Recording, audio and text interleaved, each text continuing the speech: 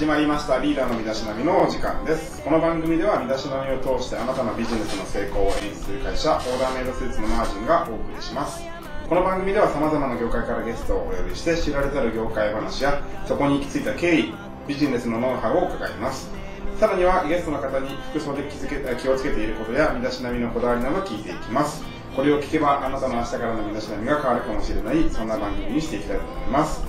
この番組ではリスナーの皆様からご意見ご感想を募集しております。放送にも慣れてきたのでご意見などいただけると励みになりますしさらにいい番組にしていけたらと思います。メールは 797-fm ギノワン .com までお待ちしております。パーソナリティは私マージンのビジネスコーディネーター小川文彦が担当いたします。CM の後ですね、えー、また引き続きお話伺っていきたいと思いますので一旦 CM 挟みます。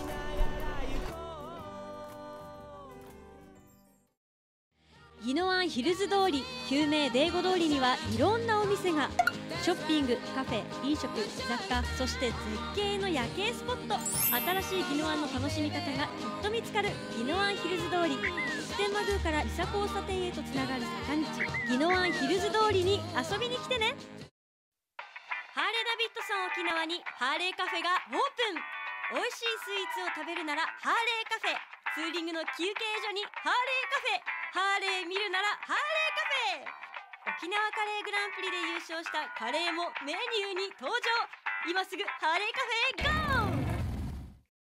GO! はい、えー、始まりました、えー、本日のゲスト、えー、2週目の登場ということで本当にありがとうございます。もう一度お名前をお願いします。はい。えー、L 級恋愛カウンセラーの、えー、沢内と言います。はい、はいはい、同じく L 級恋愛カウンセラーでヒロと申します。よろしくお願いします。お願いします。よろしくお願いします。お願いします。えー、非常に前回面白かったんですけれども。はい、ああ、りがとうございます。あのー、何でしたっけまあ魅力で、恋愛とはまあ魅力で人を縛るもので、はい、次会いたいと思わせるだったり、えー、っと、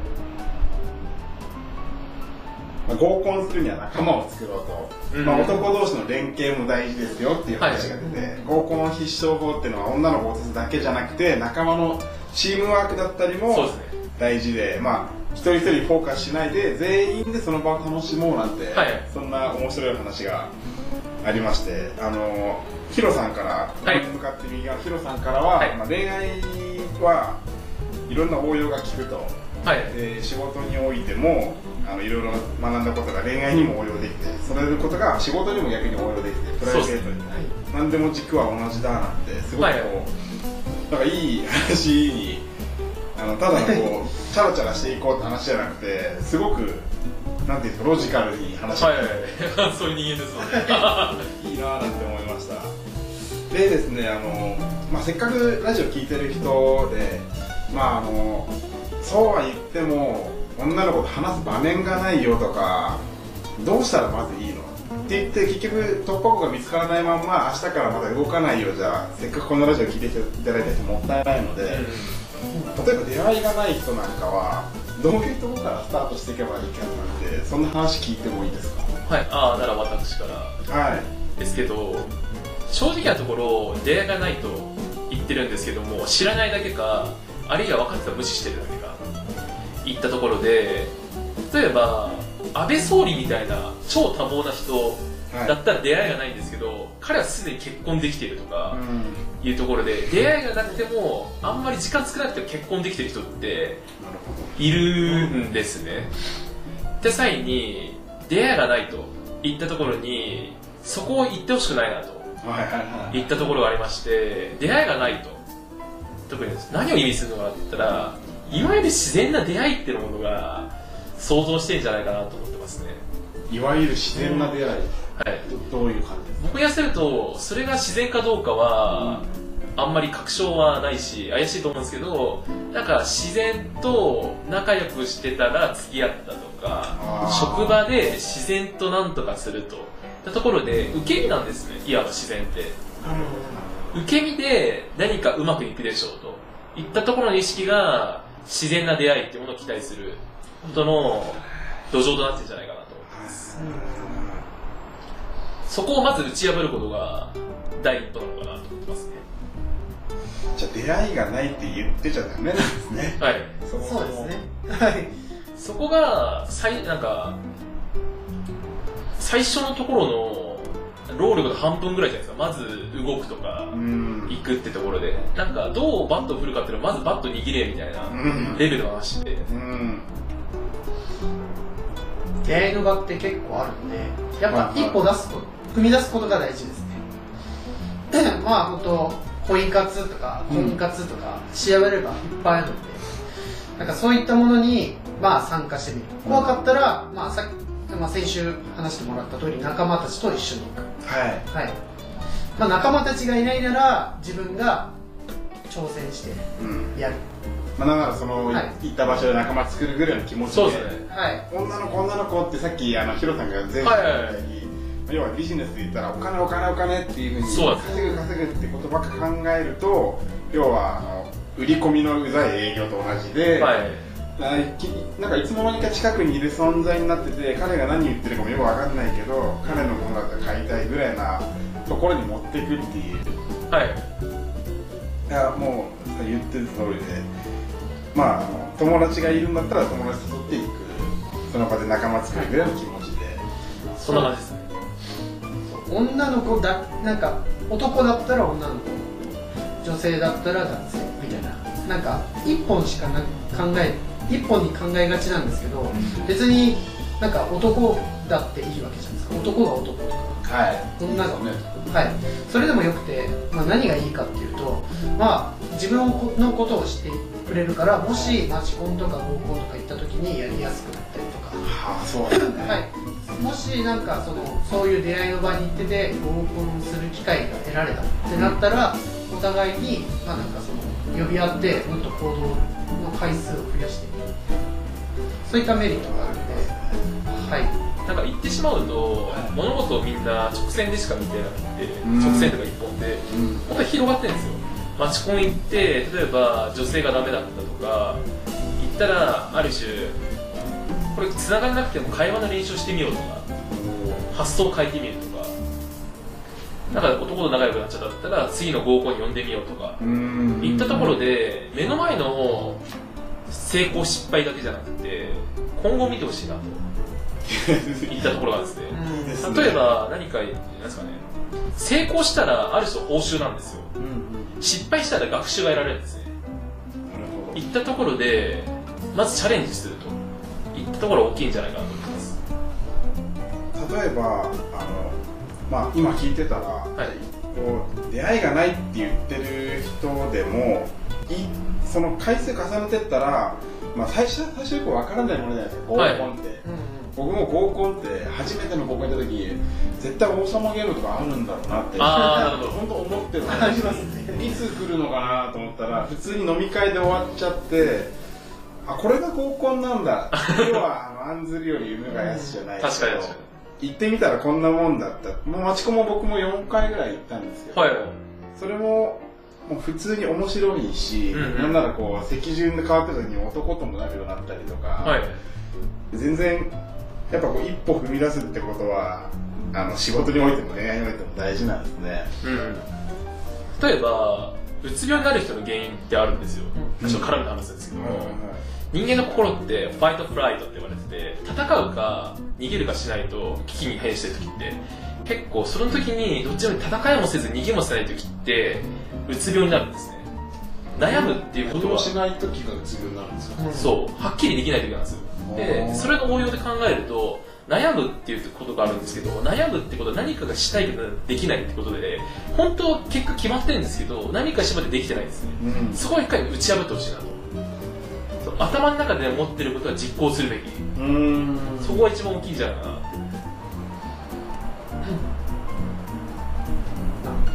っ てなるほどですね。なるほど。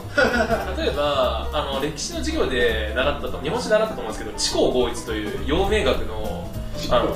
はい、知るに行うに会うに一つと思ったことを実際にやってみようと言動と行動を一致させようといったところでそういった人はまあいわばかっこいいしうん。かつ何かが成果ができると。行動するということはすなわち成功するかあるいは失敗するかと。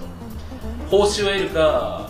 あるいは、えー学習をさせてもらえるかっていうところでアクションを起こすといっったところが大きいのかな何度言いますけどね。うん。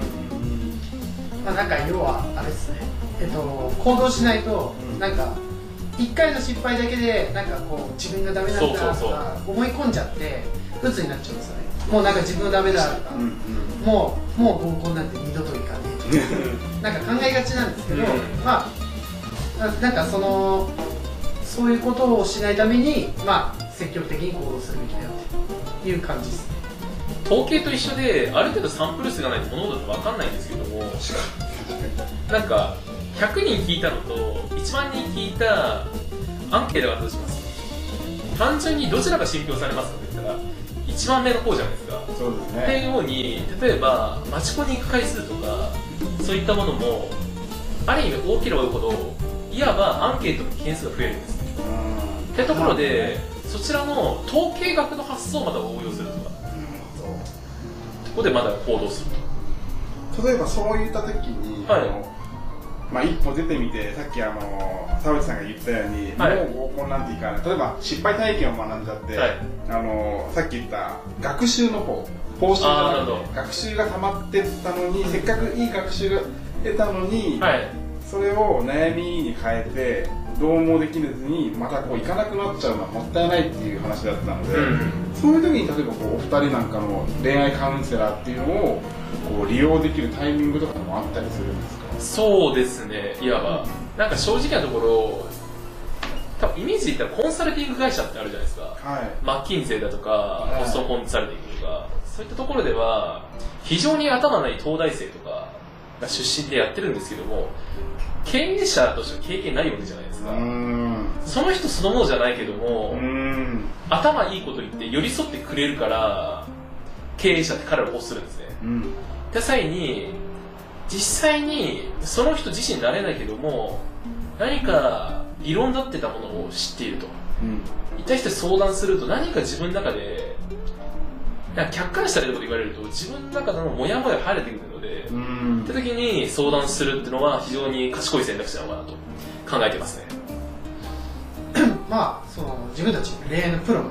で、はい、まあ、そういった時にサポートするのがお仕事みたいなので。そうですよね、はいまあ、身近にそういう友達とかがいなければ、うんうんうん、ぜひ使っていただきたいですね。大体の人ってもう分かんないですけど、はい、あのなんかくよくよしたりした時に友達に相談するじゃないですか、はい、であいつ好きだったんだけどなんかあいつから連絡がないよとか、うんうん、でも友達に相談するのとプロとっていうのはどういう違いが出てくるのかなっていう。あまずなんですけどもライザップってあるじゃないですか、はい、あれで痩せる理由って30万円以上出すからなんですよ。バードレイで言うと図書館で読む本より本屋で買った本は読むんですよ記録に残るんですよ。それは自分でお金を出したから。なるほど。行ったとこはまず大きいですね。自分で覚悟を決めて真剣にやるんだと、うんうん、言ったところがまず一番違うんじゃないかなと思っておりますその私たちはプロとして恋愛を学んでいるので、うん、あその友達ってわからないじゃないですか結局のところ、まあなんかその人自体がモテててなんか自分はこのやり方でできてるからそのやり方がその相談者に同じやり方でできるのかっていうところなんですそれができる友達なら全然いいんですけどそれができないのであればちゃんともう恋愛に向き合っていてなんかそのプロとして学んでる人たちの方が、まあ、私たちのようなプロの方がやっぱ解決策近いのかなと。すごくわかる。僕よくこう相談を受けたりした時に、はい、やっぱこうこの人は聞いてほしいだけなのかな？それともアドバイス求めてるのかなっていうのがなかなか見えづらくて、何回か聞いた後同じことで悩んでるんでもうじゃあこうしたらっていうとまあそれはなとか、言った時にまあ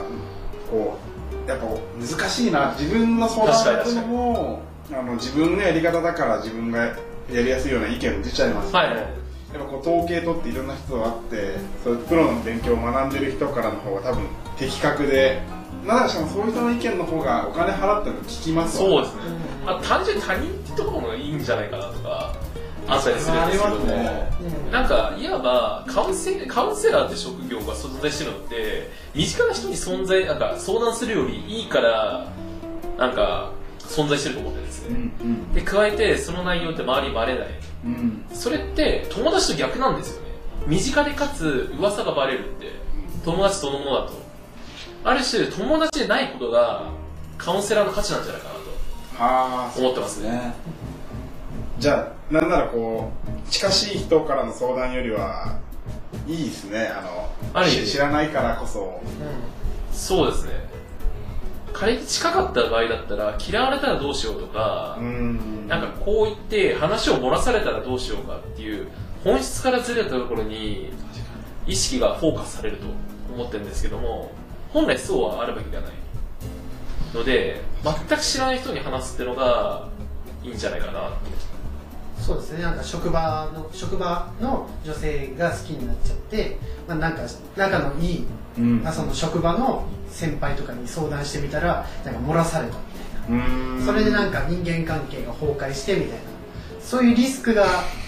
あるのであれば、はい、もう告白する前にもう落ちちゃってるみたいな。それなんかもうわけわかんないですよね。あでも実際になんかあるらしい酔っ払った勢いで実はあいつお前のことが好きなんだよとか、うん、はい、うん、それで「ええー、嫌だ」とか言ってショック受けちゃって退職するみたいな話。もええー、そうですか、なんか言ってしまうと濃密な人間関係の中ではなんかスパッと客観的になんか見えなくなるんですよね、うん、ごちゃごちゃしちゃってて、うん、よどんでる中にいてて。なんか例えばなんですかね上から見ると綺麗に見えるってことなんですよ。地球とか丸く見えるじゃないですか。実際をこうやって地面降りてきたら道路があるし橋があるしみたいな感じで、遠いからこそ見えるってじゃあのもう結構時間が惜しいんですけど、はい、今あの出会うところの話、はい、まあやっ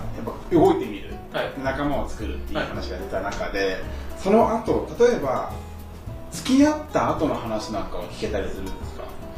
付き合った後の話は彼女に？対彼女への対応とかっていうのは？もうなんか我々の対応範囲内では。あ。はい。あの結構付き合ったってことがあるけど、はい、じゃあ何人付き合ったんだろうと思って、まあ、3人ぐらいかなって時に中身が2ヶ月とか、はい、2ヶ月3ヶ月2ヶ月とか。で例えば3年4年2年例えばあ長く付き合うんだなと思いますけど、うん、例えば長く続かない人なんかはなんか例えばどういうことが原因にまだ分かんないですけどなんかこう続ける秘訣なんかをもしあいいアドバイスがあれば知りたいなと。はい。まあその多分彼女のためにずっと尽くしちゃってるんですよねその人は、うんうんうん、彼女に振られたくない嫌われたくないから今まで通り接する、うん、これってもし結婚して家族になって子供作りました。ってなった時に同じことができますか？って確かに、はい、結婚したら、まあ、当然なんか自分の汚い部分も、うん、やっぱその彼女に見てもらって受け入れられていないといけないし、うん、えーとまあ、女性側もそうなんですけど結局はそういう受け入れ、まあ、なんか素の自分でいられてこうそのこの女性はこういう人だから自分はこうしていいみたいな、うん、そういうことがでなんか素の自分が出せないとやっぱ続かないです。なるほど。はい。いいですね。はい。素の自分が出せるようになると、はい、なった方がいいと。そのために、まあ、素の自分を知ってもらうためのデートです。うん、はい、おおなんかありますか？あのその人本人を知らないので 本来ならその人があとアドバイスすべきなんですけども僕聞いたイメージだったらより良いものがあるんじゃないかなと思って、うん、なんか別れて作り返してんじゃないかなと、うんうん、例えば就なんか就職とかキャリアでいうとジョブホッパーって現象があると思うんですけどもそれって転職転職転職。転職みたいな。それってやは今の職場に満足しないでかつあ他のところにより良いものがあるんじゃないかなと。言いたく思うことでか言ってしまうとずっとその人と付き合ってるかどうかとか別れることがいいか悪いかって、本質的には場合によると思うんですよ、っていうところでそれって別になんか別れててもいいとは思うんですけどもただ言えることとしてなんかその人とずっといることじゃなくてより良いものが他に転がってんじゃないかなと思う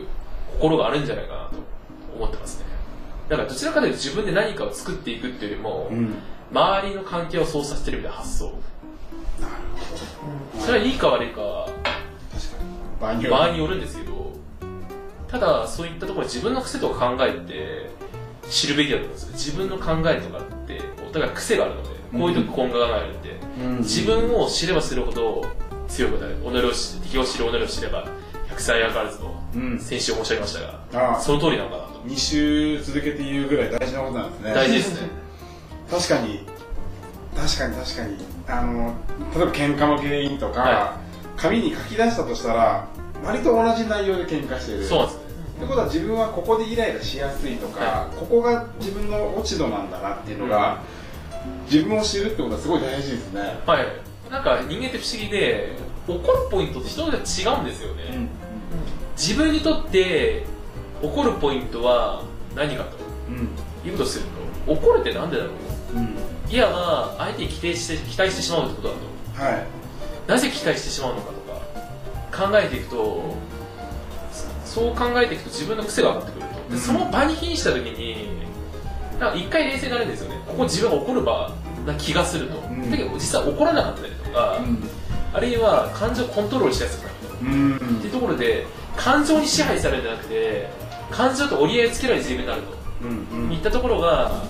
自分の感情を知ることのメリットなんじゃないかなと思ってます。これはすごい勉強になりますね いやさっきこう合コンの場とか、はい経験バンバン積めば確かにいろんな人と出会えますけど、はい付き合うってことはまたちょっと違うステージに一個上がった時に、はい。じゃあ付き合う経験を何度もするってもっと難しくなるんで、うんでも今こう知ったことっていうのは合コンの場でも生きるしそこから付き合っていく上でああの人たちはこういうこと言ってたなっていうのを意識するだけで全然違いそうですね。そうですね。違います。全部応用させて考えるべきで、これはこれに生きる、これはこれに生きると考える。あの一言でまとめて本当自分を知ることが一番大事なのがこの1時間話した中で、うん。そうですね。なんて僕すごい得した気分ですね。あのセラー2人の話を1時間聞けたっていう。なんか一緒に会って、得できたなっていうになれたらいいなと思ってます。そう言ってやりとりできるありがたいですね。でもそれってすごいあのなんなら得したなって思ったら次会いたいって思うさっき言った魅力で縛るじゃないですけど、この人といてなんかすごい楽しかったより情報も増えたし、はい。なんかなんでだろう。でもあなたが楽しかったからだなに落とし込めればすごいですね。そうなんですよ。だからこそ、いろいろ学ぶ必要もあるし、あるいは経験もする必要あるし、そしてその勉強は吐き出すことでみんなに伝えることができると。うんそして、アウトプットすることが自分にとっては最大の学習なので、うん僕は学ぶことって、アウトプットまでが一連の動作だと思ってですね。あ自分の中でふむふむじゃなくて、はいそれを確かに伝えられたらはい。じゃあ恋愛カウンセラーも人から意見入れてでそのまた応用を人に伝えてって人を重ねていけば重ねていくほどどんどんレベルが高いそのはずですね。あと3分半の番組なのでちょっとよかったら宣伝なんか。はい。あそうですね。あのーそうです。自分たち実はあのマーケティングサイトをつく、まあ、なんか運営してまして、まあ、そこにはあの私たち恋愛のプロが、まあ、なんか恋愛についてのコラム記事みたいなのを書いてあって、まあ、そこでなんか、あのーまあ、この人に相談してみたいとかなんかいろんな価値観を持ったカウンセラーの人がいるんでもしよかったら見てみてくださいそれはコメント欄とかの URL であもちろんまた、はい。はいはいアモーレってやつですね。はい。あのもちろん URL も載せますけど、はい検索ではアモーレはい。AMARE と。AMARE はい。スペースなんか恋愛とか出てくる出てくると思います。そうですあのドメイン名があのローマ字ローマのあのフランス語の恋愛っていううーん確かはい。はい。まあ、そのホームページは恋愛相談所っていう。うん。そのお二人が書いてる記事なんかも入れるんですか？あ、そうですね。僕今のところ3つ書きまして、はい僕が言いそうなことが僕記事になってまず一つだったらあのグリム・グーはあの酸っぱいブドウから学ぶはい。恋愛できない原因とはと。あと就活の SPI ってあるじゃないですか。就活の SPI とあの恋愛と似てるところ。とかそういった記事を書いてますので一見違うけどもつながってるってこともまた一応読んで楽しくできるんじゃないかなと思ってます。あのいいですねお二人からこう仕事につながるリンクが全部できるっていうか応用が効くって話があったので、はい、すごくこう記事も読みたいなって思いますし、はい、その記事読むのはお金かかるんですか？いやお金はかからないです、はい、まあ分かる人だったらそこからだんだんどんどん読み取れちゃえば、はい、生きてきそうですよね。そうですね。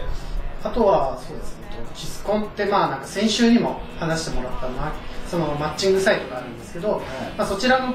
あのサイトに会員登録してもらえればあの自分たちが主催しているパーティー、うん、まあ、本当になんか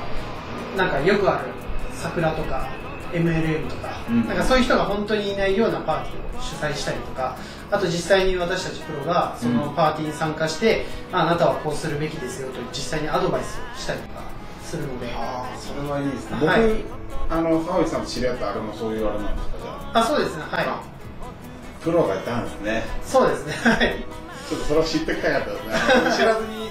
適当なことやったので。なるほどなるほど。いや盛りだくさんでありがとうございました、はい、あの情報なんかは YouTube の方載せますのでぜひあのご覧いただければと思います、えー、今日のゲストは恋愛コンサルタントのお二人でした。ありがとうございました、ありがとうございました。